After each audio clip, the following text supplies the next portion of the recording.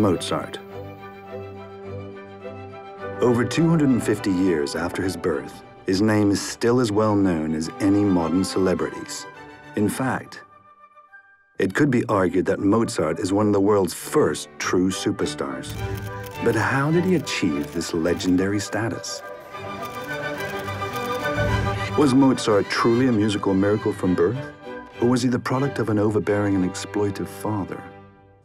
Why did one of the most recognized and accomplished musicians of his day decide to become a member of the secretive fraternity of Freemasons? What compelled him to compose his final opera, The Magic Flute? Was it to create an entertaining fantasy world?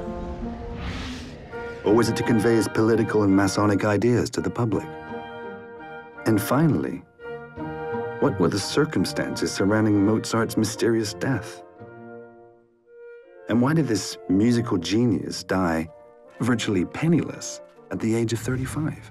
These questions and more will be answered as we decode the life of the immortal composer, Wolfgang Amadeus Mozart.